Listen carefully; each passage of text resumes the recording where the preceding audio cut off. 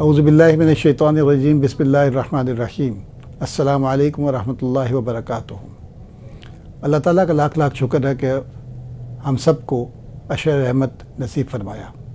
हम सबने और आप लोगों ने दिल खोल कर अपनी ज़क़़त और अतियात और सदक़ात दिए। अब हम अशर मगफ़रत में दाखिल हो चुके हैं।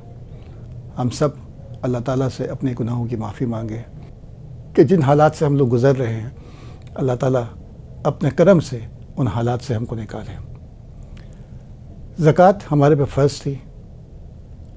उससे ऊपर जो भी करेंगे वो इन्फाक होगा।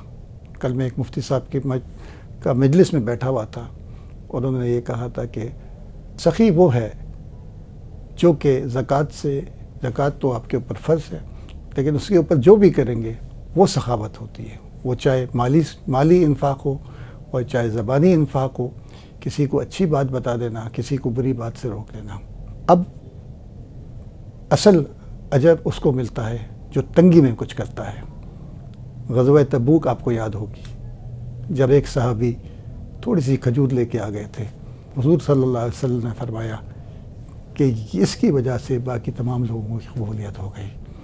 अल्लाह ताला हम सबको पूरा रमज़ान नसीब अदा फरमाए ताकि हम लोग अपनी आखिरत के लिए अपना ये तोशा आखरत बना सकें। बहुत शुक्रिया। अस्सलाम वालेकुम रहमतुल्लाहि व बरकातुहू।